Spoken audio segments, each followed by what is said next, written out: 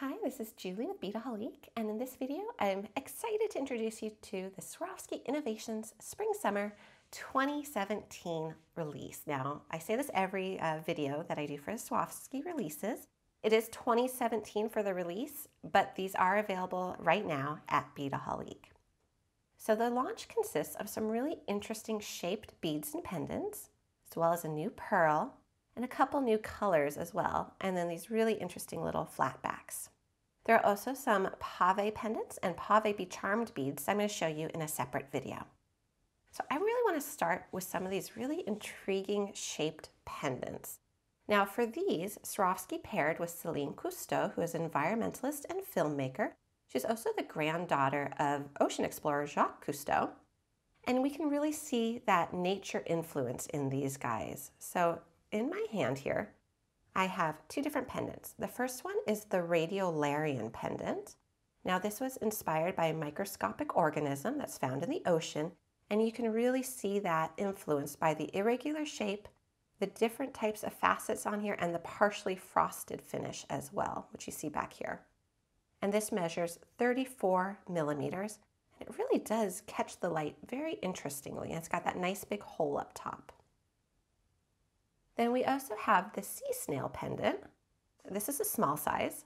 It's going to come in two sizes. I have the 14 millimeter here on the table. And then it's also available in a 28 millimeter size. And you can see it too is partially frosted and is a great nautilus shape. I really like the small size because you can incorporate that very easily into earrings.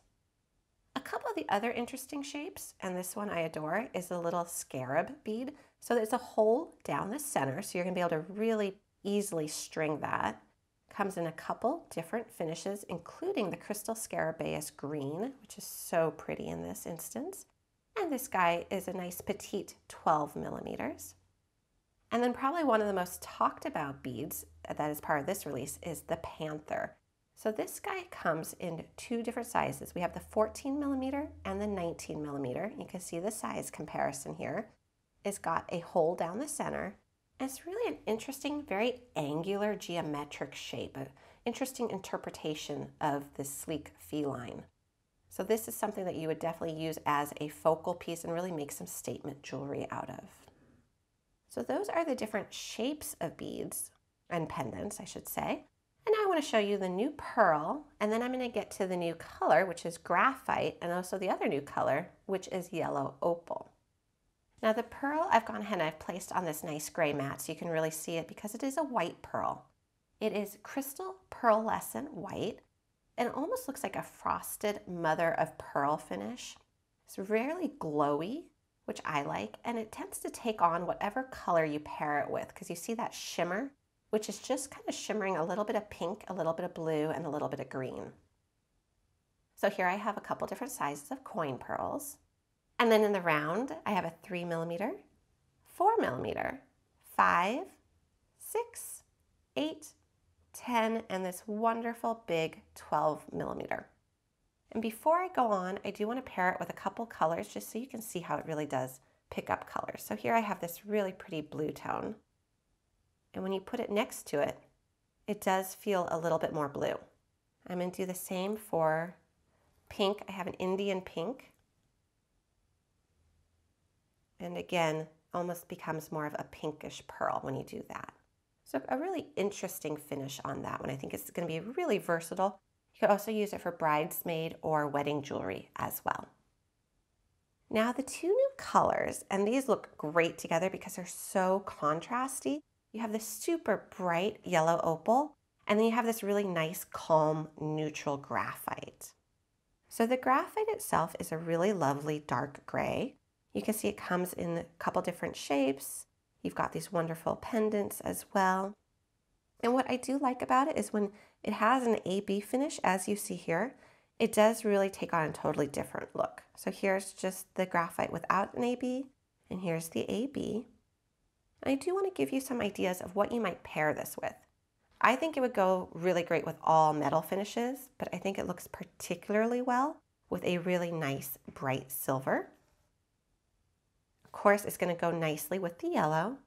But let's say you're doing a piece of evening jewelry and you want it to be a good transition color.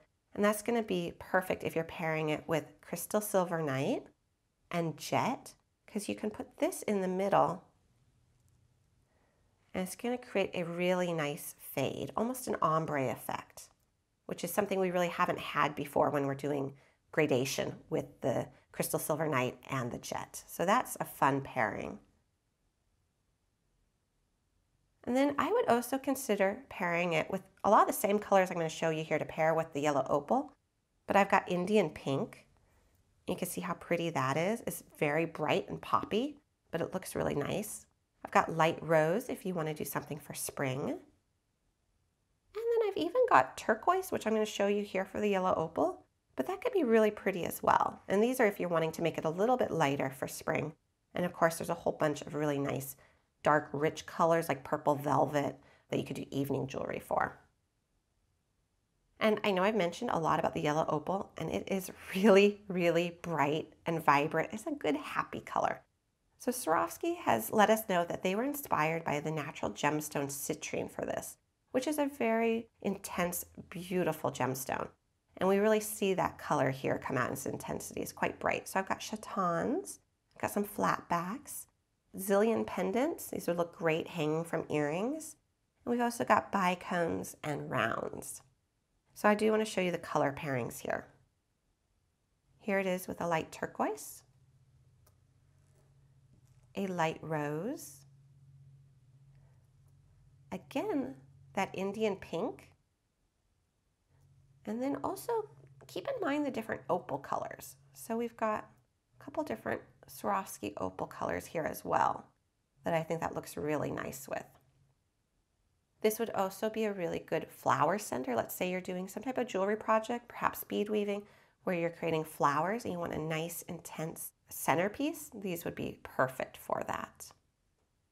And do keep in mind the pairing of the two new colors for this launch, the yellow and the graphite. And then last but not least, I have these little concise flatbacks. So how these differ from traditional flatbacks is that they have a lower, flatter profile. And I think that helps to catch the light. I think they're super bright and shiny, which is really wonderful and what you usually want in a nice flatback.